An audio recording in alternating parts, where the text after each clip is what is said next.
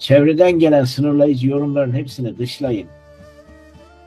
Zihninize dolaşan her şey kendinize yapılmasına izin verdiğiniz birer telkindir.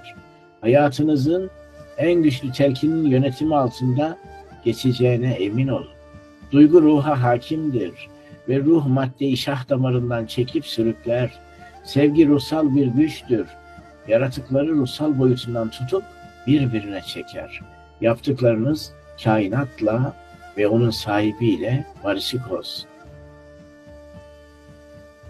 Düşündüğünüzü başaramamanızın asıl sebebi düşüncelerinizi duygu üretecek kadar yoğunlaştıramamanızdandır.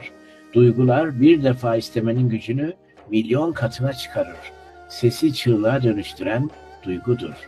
Eğer söylediğiniz sözlerden kıyamete kadar sizi destekleyecek ruhaniler yaratılmasını istiyorsanız, yürekten kopan duygularınızla isteyin. Bizi sürükleyen hatiplerin kelime oyunları değil, duygularıdır. Hatiplerin kelime oyunları değil, duygularıdır.